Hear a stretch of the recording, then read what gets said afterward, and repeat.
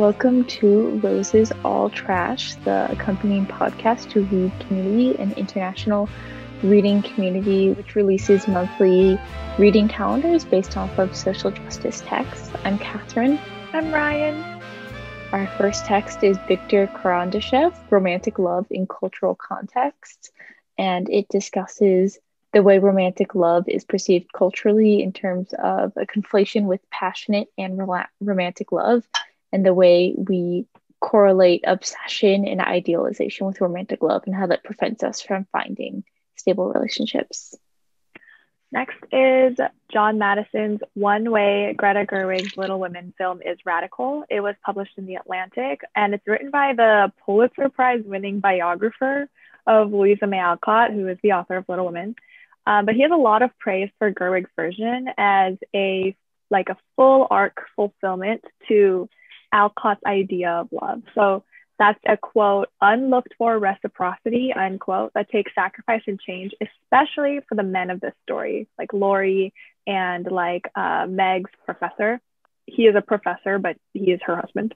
It, it also requires indulgence of the people that you love. And one of the most controversial couples in Little Women has always been Jo and Professor Bhaer, but Gerwig told the story to emphasize that, quote, it is this feeling of being taken seriously that makes all the difference in Jo's affection for Professor Bhaer, end quote. Kind of building off of last week's topic, last week's idea about, you know, love being the point. This article emphasized for me that, like, ultimately we live life in a continuum between learning to love ourselves and learning to love others. Yeah. Our last reading is by Michael Lerner. It's To Change a Society, You Must Respect Its People. It's a chapter in a book written by a leftist rabbi who has a spiritual nonprofit for progressive policy, which uh, the nonprofit is called Tikkun. He writes with a lot of awareness that his spiritual take on politics can encounter resistance.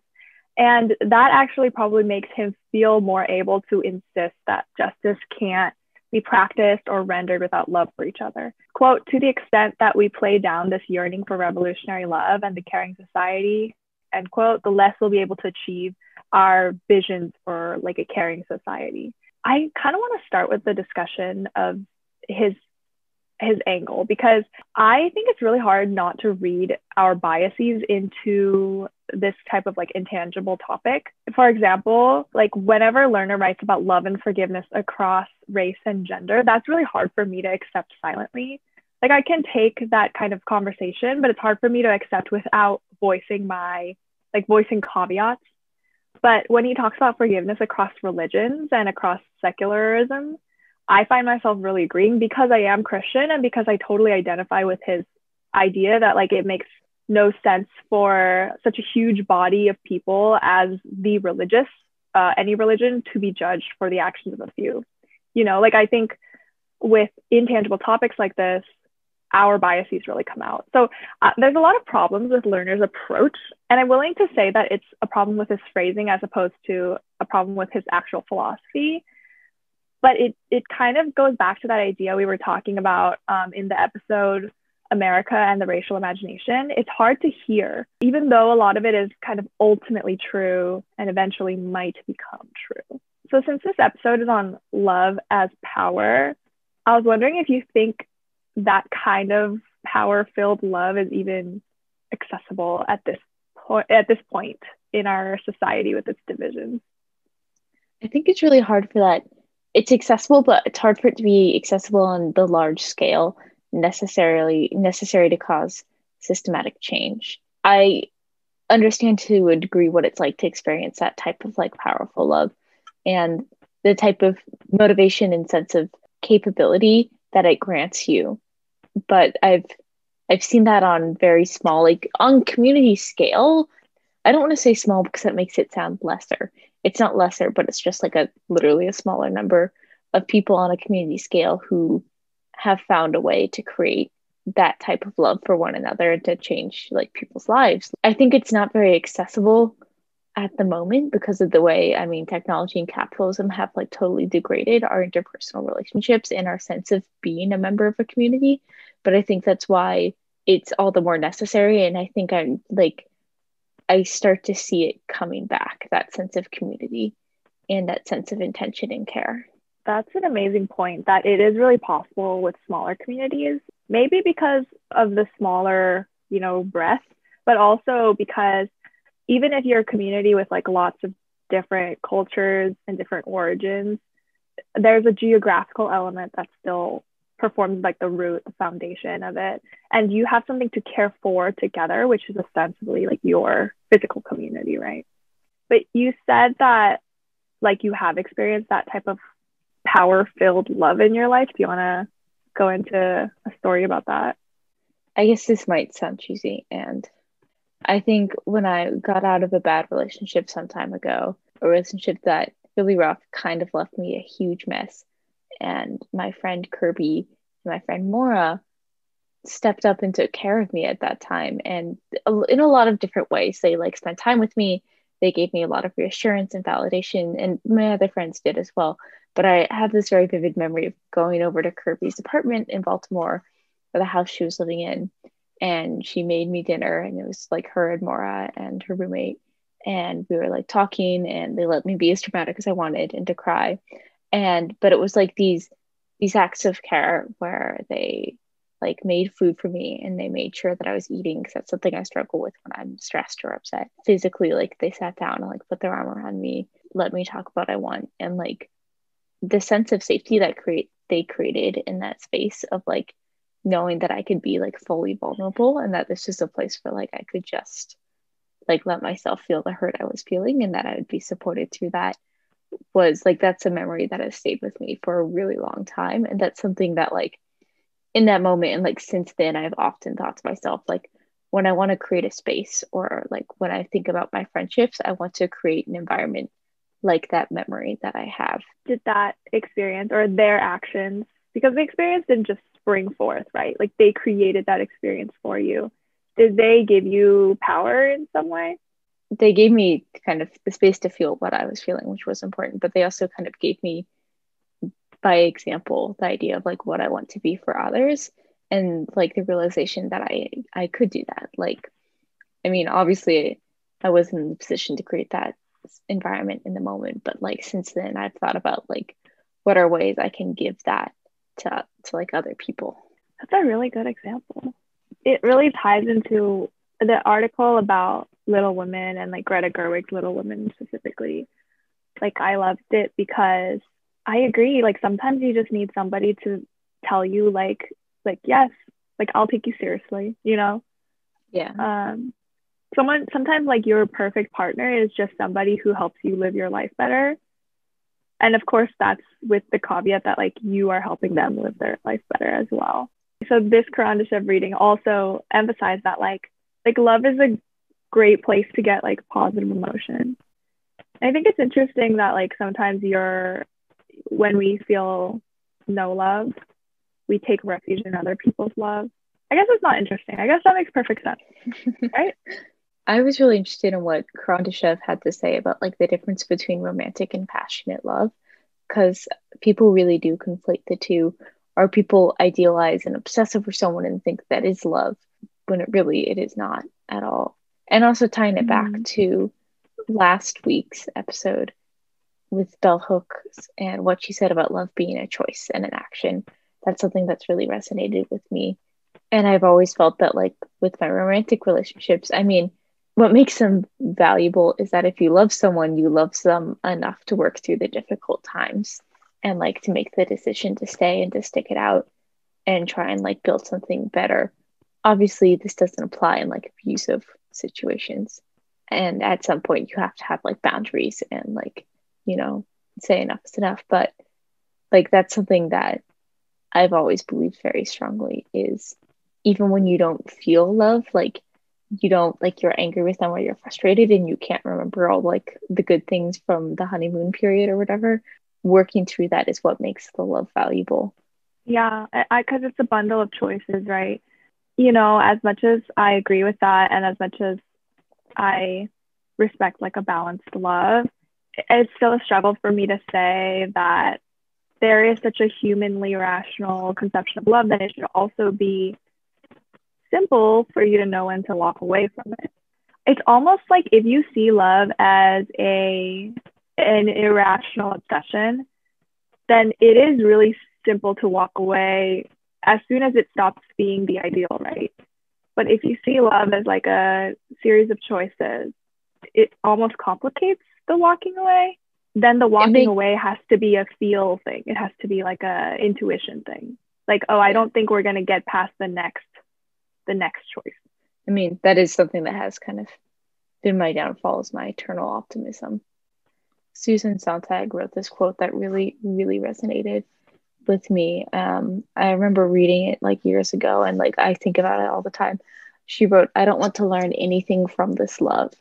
What I could learn is to become cynical or guarded or even more afraid of loving loving than I was before. I don't want to learn anything. I don't want to draw any conclusions. Let me go on being naked. Let it hurt, but let me survive. I, think about that often. There's a little paragraph in the Karandashev reading that was really interesting to me because I think I have that same like optimism as you. Like I really think that, you know, love can be a defining part of my life experience and it's what I want, romantic love specifically. You know, maybe my opinion will change in the future, but right now I like really want to experience like like a love of depth. And so this paragraph in the Karandashev reading. It's it has a subtitle, Love is an Empowering Emotion. People dismiss love as being an emotion or a fleeting thing and that like companionship is the real deal or whatever. But you can't you can't say that love doesn't inspire people. Like love doesn't move people, love doesn't make people like do things that they wouldn't be able to do before or wouldn't have the courage to do before. The Karandashev reading says thousands of novels and romances throughout history have provided multiple evidences of the belief that strong passionate love can overcome any obstacle or that, like that that that belief is held by a lot of people. People in love feel resilient physically and psychologically in many other regards. They are more positive to other people often more creative tend to write poems. They can do much more for the beloved than for any other person in their relationship. Love brings them more power this is an interesting conundrum right like love gives us power, but at what cost type of thing. it's so at odds with like what I've learned about being kind. I think, you know, it takes real patience and kindness for your friends Kirby and Mora to have provided that space for you, made you dinner, and like set out with the intention, like, okay, this night is about Katherine, you know? That takes more than just like crazy love for you. This isn't directly a response, but it makes you think of like something you said to me a while ago about like learning how to love someone effectively. A we're not really strangers card that like they posted on their Instagram story that was like, is there someone in the your life who does a really good job of loving you? And I thought about that because that's also kind of a misconception is that we will instinctively know how to love someone in the best way. When you're in love with someone and when they love you back, you will know how to make it like you'll you'll just know how to make it work, you know? how to express it, how to make sure they feel that love, like how to mm-hmm. be empathetic. And like you don't know those things. So there's skills you have to learn in general, but also with each individual person, you have to learn the specific things to love them in the best way possible. And that takes like patience and like so much care to understand what someone needs and to love them enough to do it. Yeah. And on the flip side, it actually made me feel a little more grateful when there was effective love shown toward me because I realized that, like, you know, we can't all just focus at all times on caring for people. I think that was more of like a middle school, high school thing. But now, when we're adults, like, you have so many other responsibilities that you're dividing your attention among, and you're really just trying to help your friends and look out for your loved ones as much as you can, like, as much as you stumble across it. And so I've even learned to be grateful for when like a, the stumbling of a friend matches up with what I need. It's almost like just a gratefulness to like the universe as opposed to like a gratefulness to my friend. I don't know. I just stopped really holding my friends' inabilities to meet my like love needs against them.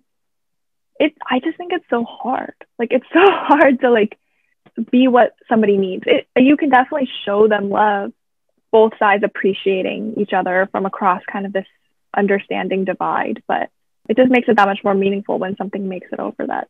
That's something I've come to accept. Like you said, like not holding it against my friends, like when they say something that frustrates me or like when they're not able to be there for me when I'm upset. like instead of taking it as a personal slight like things happen like i know i've also done those exact same things to my friends so like who am i to be bitter that you know that they weren't able to be there for me.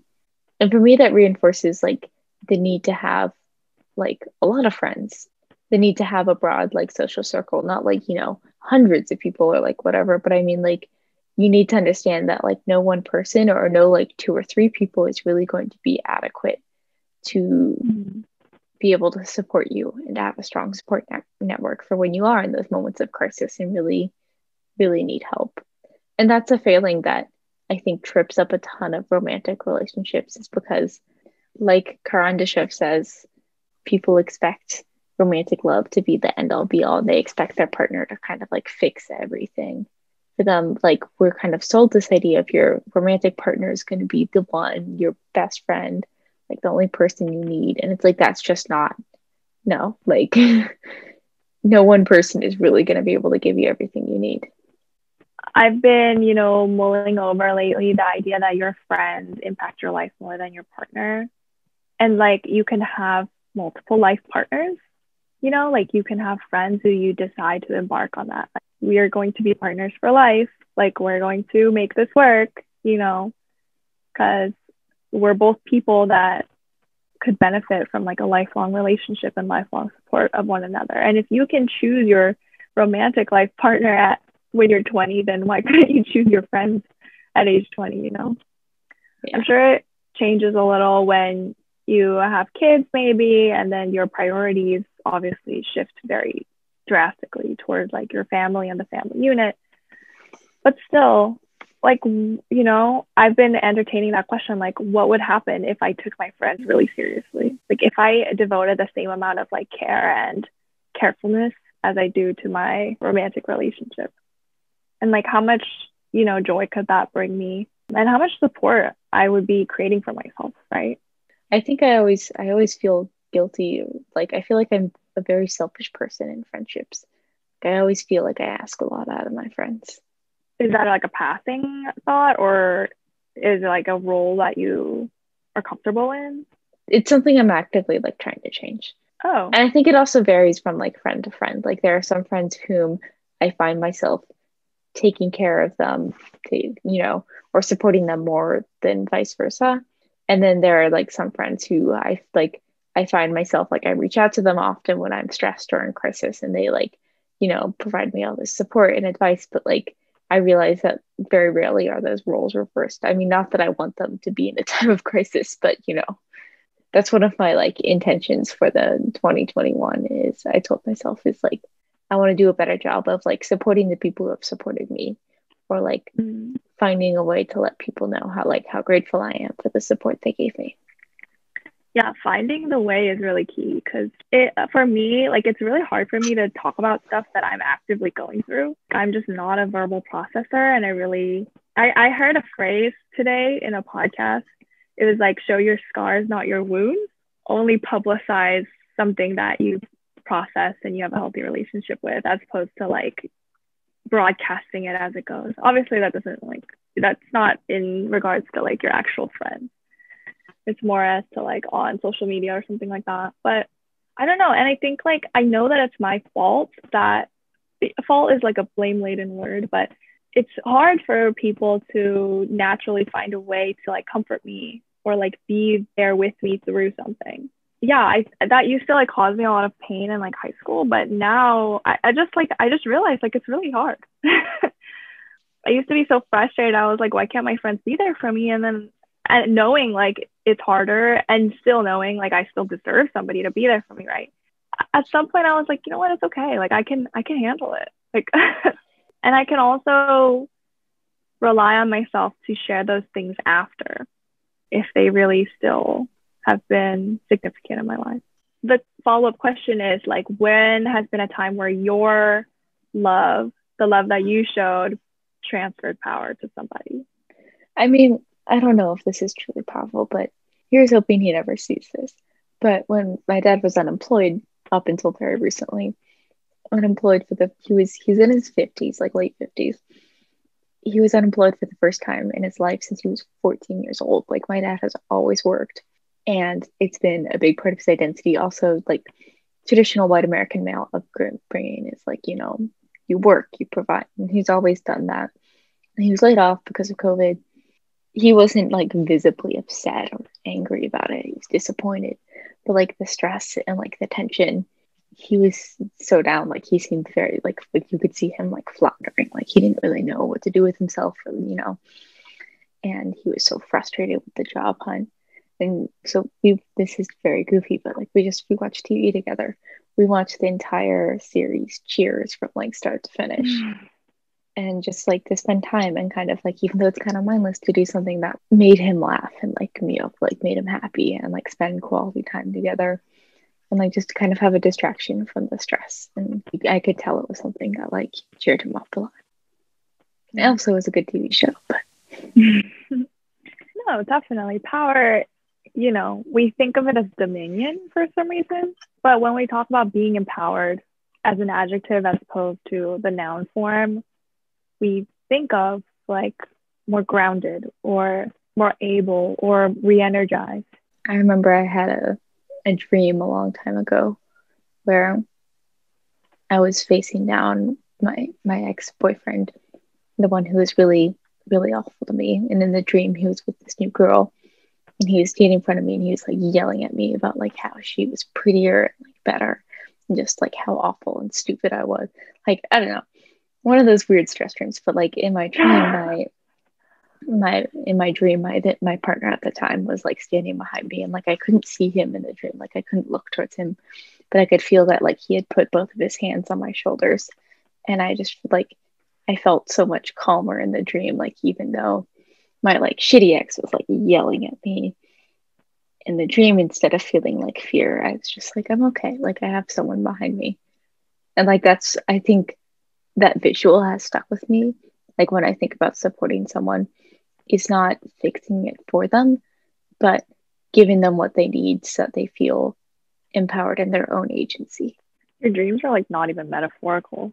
Dreams are like i go to a spa and uh, like I had this dream last night. I went to a spa, but like all of my family friends were there, like every single one that has ever made me feel awkward and like not know what to say. And for whatever reason, I couldn't open my eyes. So I fell like full face in the three foot part of it. And I was like lying there and my whole body was out. I think that like is a big thing because like I was I was told so much to like cover up and stuff when I was a teenager. My whole body was like visible to all my family friends and I like couldn't open my eyes and I was like trying to get out Well, I could talk about stress dreams for days. I have a lot of nightmares, like a lot. I I've recently a... cracked a filling in my tooth because I grinded it in my sleep and I had to get it redone. Anyways. I have so much responsibility in my dreams. Do you think that says something about me? Yeah, I mean, I think you have a lot of faith in your, like, rightfully so, you have a lot of faith in your own intelligence and your power to, like, see situations clearly and kind of cut to the truth of what matter. I mean, that's a quality I admire in you, is like, you're very good at being like the neutral observer of a situation and like giving the honest advice, whether or not is what people want to hear. So I feel like you're often called upon to like fix things or like to give an answer. Maybe my dreams feel- are telling me that I can't I can't do it. Maybe your dreams are telling you that sometimes you can't you cannot yeah. fix it. I don't know. Yeah. I mean, actually I wish that people saw me as like way more biased in their favor. Like I love when your friends will bully somebody like when it's just the two of you like for no reason like they have no beef with that other person, but they're like talking so much smack about them like for no reason at all. Like I love that. I think it's such a harmless, like fun, like it's like toxic light. You know, it's like it's like toxic just for girls. Yeah. I was just gonna say that's something I found that like I do kind of genuinely enjoy like gossiping a little. That's like it's an American pastime, man it's mm-hmm. sometimes you just gotta talk a little shit. Yeah, and I like totally justify myself by saying, well, I'm sure there's plenty of people who talk shit about me. Like, I don't know. I just feel like I kind of give that vibe. and I'm like, yeah, that's fine. Like, I totally get it. You know, I'm not to call them out or even think badly of them if they're super nice to me in person or something. Like, I just get it. Like, you gotta like yeah. you haven't you need to have an outlet you know? Yeah. It's also yeah. Like it's totally valid to be frustrated with someone but i also like am not going to create unnecessarily con- unnecessary conflict by being like rude or impolite to someone. I don't even think the conflict is really there because it's kind of just a small problem you have with a version of them. Like sometimes even with your close friends like you got to talk shit about them in order to keep loving them you know? Yeah. like there's often two levels to things. Yeah. Like a like a light just for girls level, and then like a we have a problem and we need to talk about it. yeah. That's why I love I mean, this is not even a side tangent, right? Like the love that exists between women, like the affection that can exist between women. And I guess people who are non-binary or genderqueer, although I wouldn't have any like you know direct experience with that. So i really don't know if this type of dynamic exists but for girls right? Like there's such a like a superficial love um where it's but it's like so genuine right? Like there's nothing fake about it. It's just it's just very thin in nature.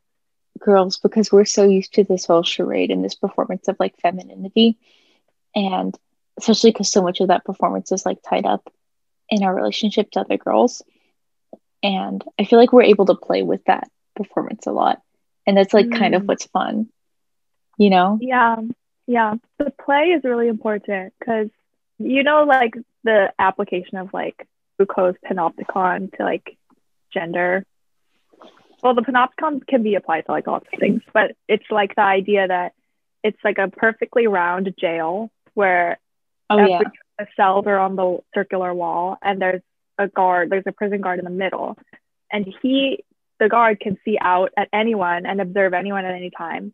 But it's like mirrored or whatever, so none of the prisoners can see when the guard is looking at them. So over time, the prisoners learn to sort of self self govern, self regulate their behavior. Mm-hmm. And so that's like Foucault's idea of the society. And applied to gender, it's like women have this internalized male gaze? Yeah the male gaze. Male fantasies like, male fantasies.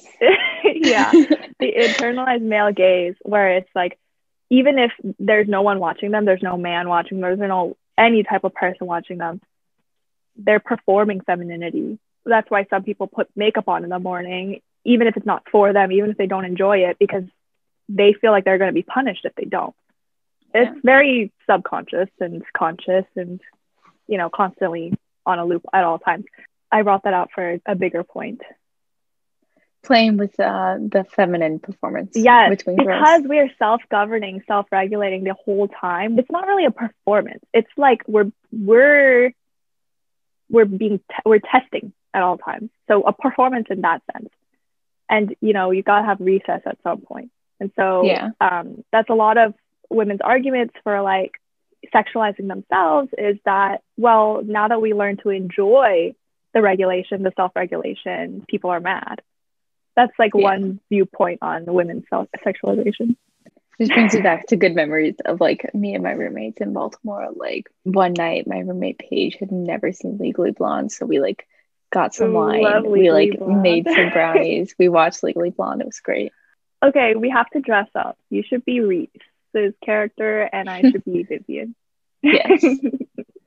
the brunette versus blonde, the visual representation of the Madonna versus the horror. In Mad Men, Jackie and Marilyn.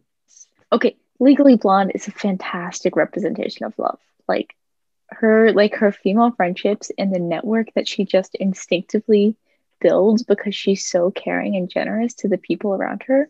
It's incredible it goes back to something I was discussing in last week's episode about how like lo- self-love sometimes takes the part of selfishness within relationships. Like you got to know when to rely on somebody else's care for you. Just because Reese Witherspoon's character is focused on herself and her image and her like advancement doesn't it completely does not preclude her from caring fully about other people yeah and that's such like a servitude role that has been put on a lot of like saintly madonna-esque women characters is that they have to be self-sacrificing. They have to give everything and give all you know? And there's kind of a, a reclamation. It's a much easier to do a reclam- reclamation of the horror version of like no be selfish like be a girl boss whatever but the point is that they're not exclusive they're not exclusive you know they're not yeah exclusive. like you cannot pour from an empty cup like whatever that phrase is mm-hmm. you know more specifically it's through Elle Woods' her focus on herself that she's best able to help her friends like it's because she focused on herself and went to law school and like advanced herself that she was able to help help her friend get her dog back from her like mm-hmm. shitty ex what another mistake that people put on that is that they assume it has to be chronological. Like you have to pour into yourself before you pour into another person but sometimes you have like enough to give. Like sometimes you have enough to like give give give give give and then like you're like oh i'm kind of tired. Maybe i should focus on myself a little bit. You yeah. know it's it's really not who do you protect first. Like you don't have to make a hierarchy because just as like it, it's a very natural thing for you to go about your life caring about people you care about and then also to do for yourself what you need to do for yourself and i would say that the per- picture perfect ending of of Elle ending up best friends with Vivian is a form of play. Like it's a form of playing with that material of like women's love and women's caring, women's friendship. Like uh, like that would never happen. Like I'm sorry. I don't know. Uh, I think it would. I, I mentioned my crappy ex. I knew his girlfriend before me. Uh, I knew her from actually from kindergarten and from oh. high school. Still like chat and like talk. We're not super close friends because we live in very different places. Um, and like I said, we drifted apart after like high school. So also another girl who who was also really crappy too. Like the three of us have like we still like talk and like connect from time to time, and we're like, you know, you talk about him once or twice. We've talked about him, but like actually not really. No. Yeah. A tacitly um, understood camaraderie. okay, then maybe I stand corrected, but it like to the, the fact that rom-coms even have like such shiny wrap it up with a bow endings is a form of I think play with feminine material. Well, I haven't watched that many rom coms, but I love a good rom com. Like I love a good thing that is just what it is. Um, I'm in this like book club, and we read this book where the ending is really like way too neat. Um, like the girl marries the guy, and they like are perfectly well off. Like suddenly the guy owns a garage, so he can like finance their life because the girl is like pregnant and stuff. And it's just like I can enjoy that for what it is. Like as much as the world falls apart, like in every single way, you know, political, hierarchical, whatever. Like as things come un- unraveled, not just in a bad way, but in a way that is simply destabilizing. I still, for whatever reason, like really hold on to like a very Disney-esque idea of love. And I wonder why that is it's almost even a question of like in all of this like freedom of individualism and stuff why are we still holding on so hard to the idea of like monogamous bliss you know what is the appeal that love intrinsically holds for us romantic love i think the cultural concepts that we have of like romantic love like you said the disney style i mean it's the like happily ever after without complications. Like it's the rom com ending. And I feel like that's why we often hold on to it because when so many things are not going the rom com way, we hope that like this last one will.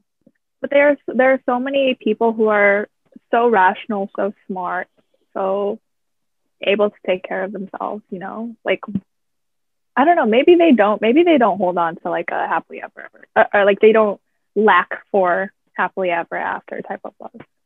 I think it's also because we've been taught that romantic love is like so distinct from our like platonic love, from our community love and like communal love. And also because we lack our communal love. So we look for it in a romantic outlet because we're not getting it in other outlets. I guess a lot of times when people get married and have kids, they like join some sort of community, like often religious, or I don't know, they join like a tennis club or something. I'm not sure. um, and for whatever reason, even that type of love is, I think, prioritized above the drama that it can bring to people's lives, above like the superficialness of the love, you know? like why do we fight so hard to like feel part of something even if it's uncomfortable? Or it can like literally bring like the worst traumas of your whole life like you know?